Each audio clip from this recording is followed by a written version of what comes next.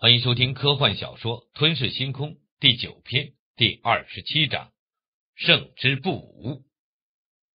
石峰雄，他的师傅是掌控周围十亿公里范围的世界主司勇。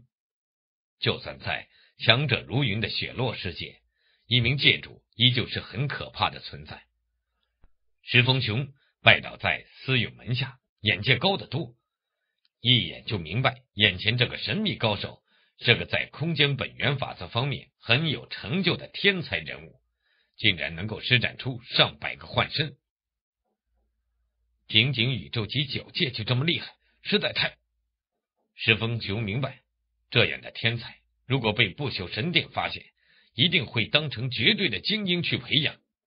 可惜他是敌人，敌人越可怕，就要越尽早的消灭。石峰雄站在原地，手持双锤一动不动，而施展开近身战秘法乱空杀的罗峰不由得惊异。他毕竟是玉主级二阶，单凭纯粹的强大元能爆发的速度，在我这招之下，很有把握能保住小命。怎么一动不动啊？疑惑的同时，罗峰心底也升起一丝警惕。哗哗哗哗哗哗。上百个幻身刀法都凌厉诡异，配合那弥漫开的金色领域阴影，令整个空间都随着那刀法起舞。瞬间，一抹抹刀光仿佛是构成整个空间的架子似的，拖着整个空间直接压迫向那石峰雄。压迫同时，空间在缩小，一道道刀光也在缩小。当石峰雄被困住，就仿佛被困在一个小房子里。被大量刀光绞杀，时空随笔上秘法没有名字，乱空上是罗峰自己编的一个名字。哈哈哈哈哈哈哈哈！大笑声响起，石峰雄站在原地，仿佛在欣赏着罗峰的表演。起！石峰雄嘴角泛起一丝笑意，同时在他身体周围悬浮起密密麻麻的弧形暗器，最起码数千枚暗器。密密麻麻将石峰雄包裹，每一名暗器在雷电照射下都闪烁着冰冷的金属光泽，那弧形的刀锋让人心寒。什么？洛风脸色大变，本想靠速度虐杀对手，可是和念力兵器比速度，那是找死。去！石峰雄一挥手，顿时漫天的无数弧形暗器。朝四面八方疯狂射出去。虽然百线流身法很惊人，让人无法辨别真身准确的位置，可是当无数暗器肆意的迸射时，那就糟糕了。虽然因为数量多导致威力差，可对方是域主级二阶，任何一枚暗器都能击杀普通宇宙级九阶的实力。当当当，吭吭吭，罗峰身形飘渺诡异。可奈何暗器数量实在太多，手持六棱盾牌连续挡下数十枚暗器，虽然卸掉大部分的力道，可依旧影响到身法。哈哈哈哈哈哈！哈！石峰雄的笑声还未落，其他飞舞的暗器立即全部转弯，同时朝罗峰呼啸而去。数千枚念力兵器、暗器同时飙射而来，空气都震荡炸裂开来。而罗峰脸色一沉，双眸冰冷的看了石峰雄一眼，一股无形的意识威压猛地直接撞击在石峰雄的意识上。嗯，石峰雄只感觉头脑一疼，原本被意志操控的数千枚暗器顿时没了操控，没有了念力的帮助，那些暗器在强大空气阻力和惊人的引力下迅速衰弱，而且这些暗器依旧顺着惯性往前射去。令罗峰得以轻易的躲开，能随时变化方向的暗器，可傻傻的一直往前冲，当然是后者更容易躲。唰，罗峰躲开暗器，唰，罗峰冲向石峰雄，死吧！罗峰已经到了石峰雄的眼前，手中的血影战刀化为了一道无比摧残的刀芒，直接斩向石峰雄的胸膛。杀宇宙级。和杀域主级是两个概念。从学徒到宇宙级，灵魂都是一定在识海中的，所以植入芯片最高可以控制宇宙级强者，奴隶贩卖最高是宇宙级奴隶，而狱主灵魂则是在起点中，这起点又名命核。比如罗峰，他的起点和元核融合为一，导致他的元核无比的坚固，将来要突破元核的桎梏非常艰难。杀狱主就必须毁掉那命核。可是命核可以存在于身体任何一个部位，可以在头部视海中，可以在丹田中，甚至可以在手臂、胸口等任何的位置。所以杀狱主首先得确认那命核在哪里。之前意识轰击令罗峰确认了位置，噔，一道金色流光撞击在罗峰的刀光上。糟糕！罗峰脸色一变。便看到那阴沉似水、疯狂无比的石峰雄，自己的意识算是狱主巅峰，而石峰雄也是狱主级意识，虽然比自己弱很多，但毕竟都算是狱主级。以此意识威压撞击，仅仅起到瞬间影响作用而已。意识威压只有级别相差极大时，效果才明显。哼！石峰雄怒视着罗峰，同时在其身体周围。环绕着三道金色流光，同时攻击向罗峰。真痛苦！武者碰到精神念师本来就吃瘪，而且还是碰到比我高上几届的精神念师。罗峰心里明白，取胜不了了。再强的法则感悟，再厉害的身法，在漫天盖地的各种念力兵器攻击下，或许还有取胜的希望。可假设对方比你高上几届，还怎么斗？就算金角巨兽在没修炼本尊天地等诸多秘法时候，单凭天赋也就能和高三界拼一拼，横扫高二界的人类武者而已。嗖嗖嗖，三道金色流光快如闪电，罗峰速度再快的躲避不开，一道金色流光瞬间从罗峰的喉咙穿过，射对穿，同时凌厉的气劲瞬间将罗峰头颅搅成浆糊，扑通。罗峰倒下，好可怕的意识啊！他他到底是谁？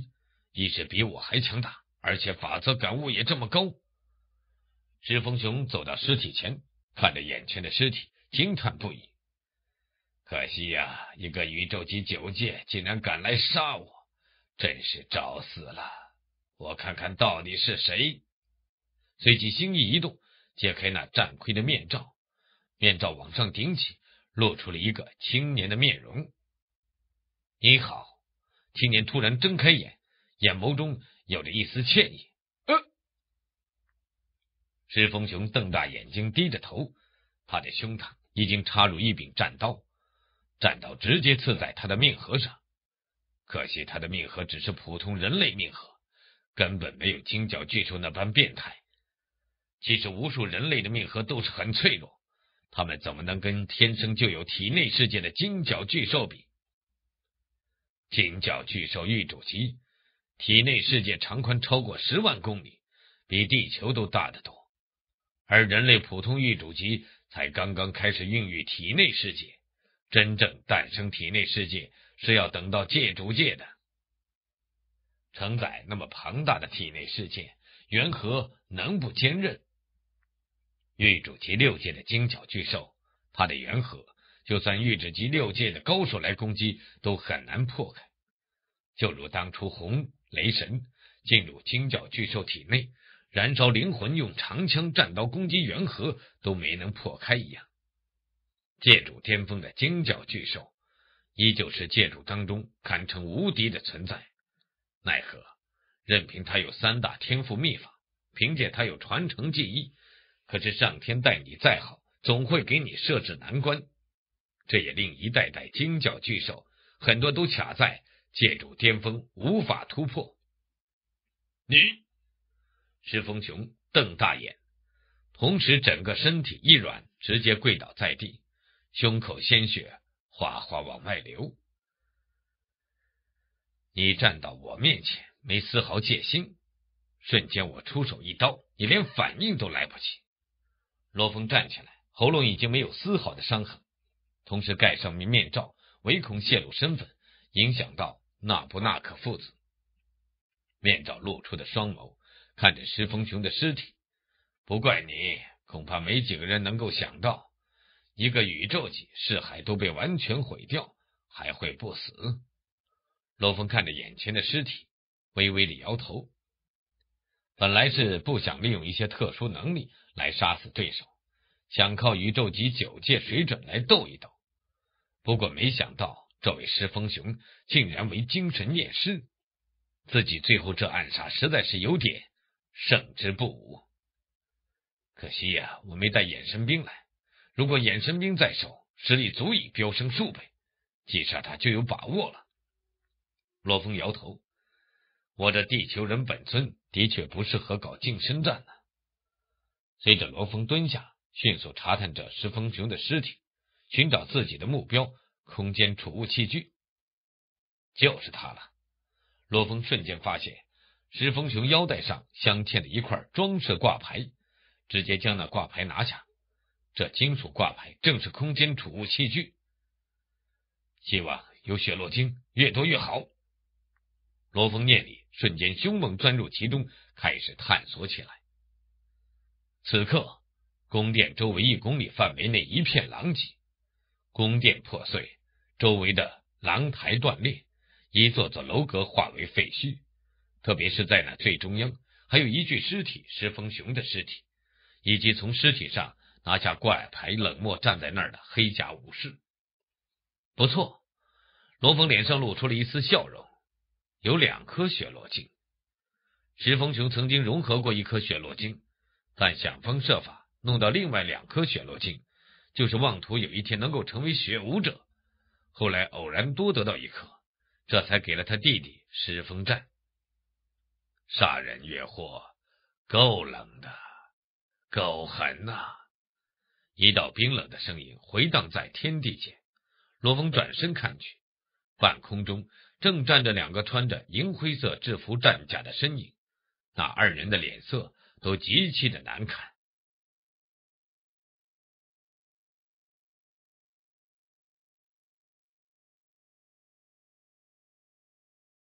说《吞噬星空》第九篇第二十八章：神殿使者。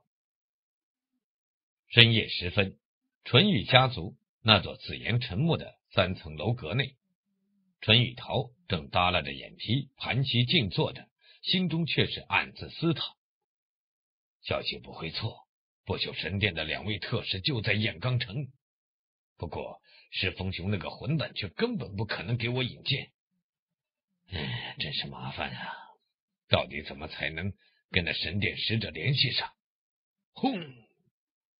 一股狂暴气息猛地从东北方传来，令原本耷拉着眼皮的纯女桃猛地抬头，双眸直接朝东北方看去，两道目光化为两道光柱，直接将楼阁东边的关闭的窗户给直接轰成粉碎，露出了远处东方的美丽景色。足有一公里高的雷电光球正屹立在城主府中，雷电霹雳，电蛇舞动。这一幕令淳宇涛大吃一惊，不单单是淳宇涛，整个燕冈城很多人都惊呆了，因为燕冈城内并没有一公里高的建筑，所以当成雷电光球出现时，特别是在黑夜中，这雷电光球格外显眼，几乎上百公里范围内，只要视线没有遮挡物，几乎都看到了。怎么回事？石峰雄那个混蛋！怎么释放领域了？遇到什么高手了？淳雨桃一惊，猛地从屋内冲了出去，站在半空中遥看东北方。淳雨桃脸色不断变化。这燕冈城到底谁能够让石峰雄这么拼命？没其他领域级强者，而且有两位神殿使者在，谁脑子被抽了？这时候杀过去？难道他跟神殿使者斗上了？神殿使者的实力，春雨桃不知道。想当上神殿使者，必须是领域级。至于领域级初期、中期、后期、巅峰，不清楚。小心点，别把我给陷进去了。春雨桃小心翼翼的飞过去，却也不敢释放一丝的气息，唯恐对方将他当成敌人。他必须小心，因为他淳雨桃没背景没后台，他一死，淳于家族就完蛋了。老而不死是为贼，淳于桃可很清楚保住小命的重要性。其实罗峰和石峰雄的战斗到了他们这个层次，一两秒便能瞬间交手数十次。整个战斗从头到尾，包括最后罗峰的一刀刺杀，耗费时间最长的反而是罗峰最后的一刀刺杀，因为要等到石峰雄走过来，整个战斗也就数十秒钟而已。空气炸裂，雷电四射，气劲乱飞，金色气浪耀眼。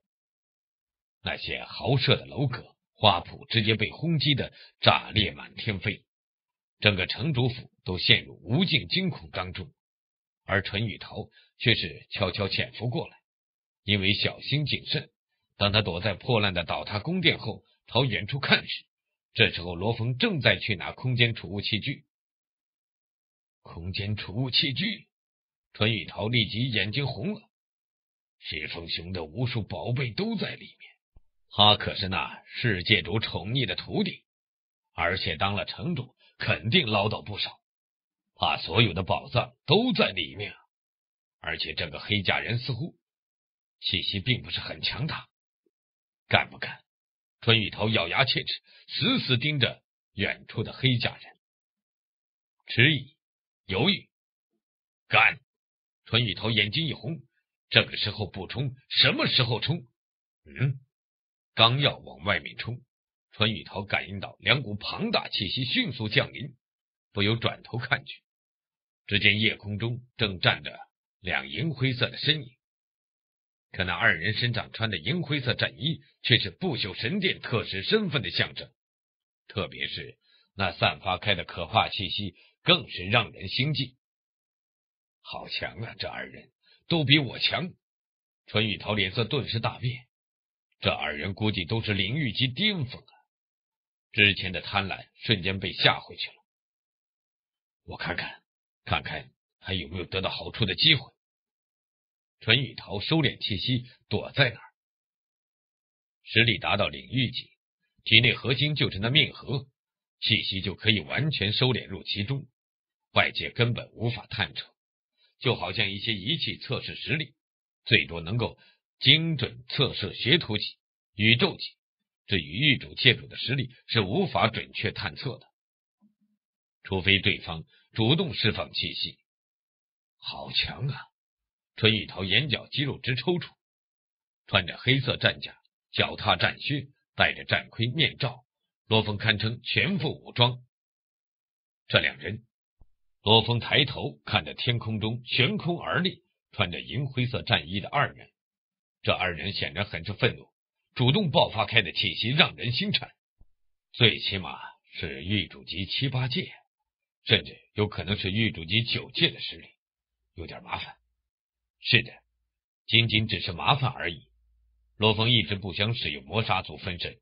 仅仅是想用磨练自己，可是，一旦受到生命威胁，谁还傻乎乎的送死呢？以魔杀族的实力，特别是那变态的空间法则能力施展开来，想逃命，这二人根本不可能挡得住。两位一定要动手！罗峰看着天空中的二人，哈哈，你都杀了我师弟，难不成还要我放了你吗？夜空中，那长相俊美的中年男子怒喝着。夜空中的不朽神殿的两名特使，气息强悍可怕。没想到会是这样。旁边另外一名男子传音道：“刘兄，很抱歉，我也没想到发生这种事情。老莫，不怪你，我也大意了。”俊美男子暗恨。这两三天。他们被石峰雄招待的非常好，特别是今晚，更是请到了传说中的恶魔海中的虞美人，专门来给他们唱歌、服侍、救亲。这虞美人是属于雪落大陆最最顶级的女人，她们可以化去鱼尾，变成人性，碰水后又能恢复鱼尾，且个个唱歌无比的动人，那绝对是享受。然而虞美人却仅仅只有恶魔海才有。恶魔海属于雪落大陆上一个非常可怕的区域，想要活捉虞美人很难。所以，一名虞美人在雪落大陆上是遭到很多权势人物追逐的。他们是神殿特使，平常在神殿哪有这么逍遥？这次看到虞美人，当然不会介意潇洒舒适一番。他们二人正舒适逍遥的很，忽然感觉到远处爆发出强大的气息。当时他们根本懒得动，而且也很相信，在这一方世界范围内，恐怕还没有谁敢招惹世界主司庸的徒弟石峰雄。相信石峰雄能解决。可后来感觉远处气息太过强烈，强烈的过了头了。轰鸣声、爆炸声，惹得这二人不爽的离开了床，出来看上一看。待得他们到，石峰雄已死。城主府内气氛一下子变得一触即发。你们不是我的目标，我懒得杀人，别逼我出手。罗峰看了半空中二人一眼，直接一迈步冲天而起。想逃！半空中的俊美男子怒喝一声，同时传音给旁边的特使：“老莫，他杀了我师弟，这事情就交给我，你帮我看着。我担心这小子有什么突然疯法逃掉，你注意着点，别让他逃掉就成。”刘兄，交给我，你放心。莫特使点头。吃人嘴软，拿人手短。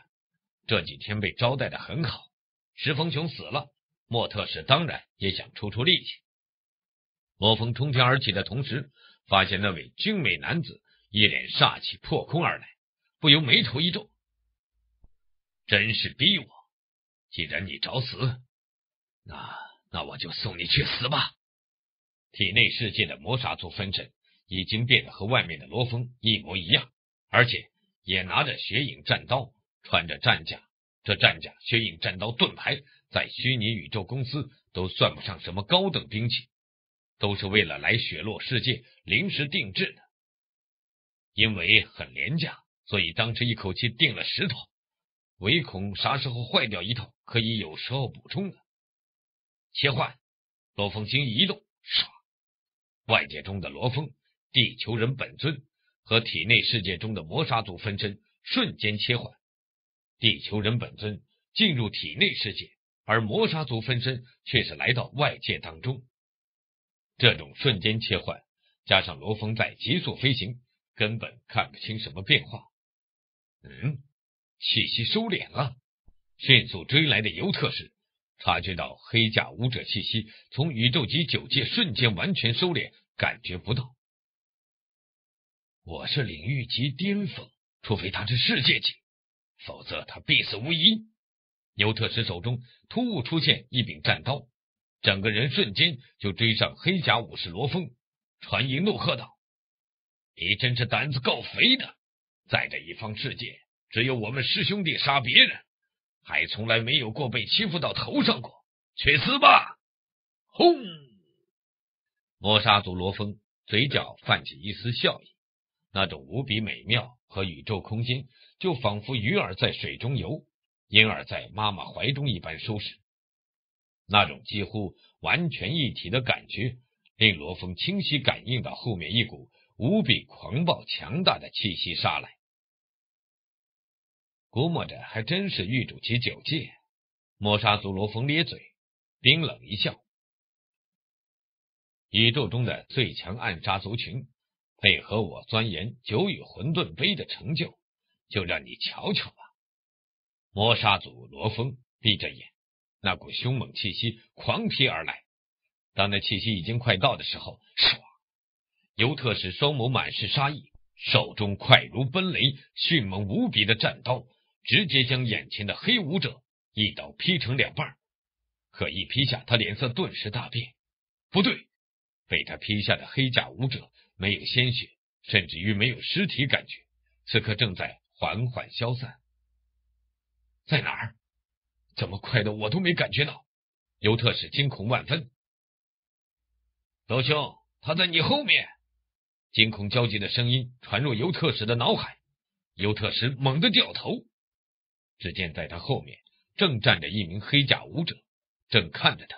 同时，一道刀光亮了起来。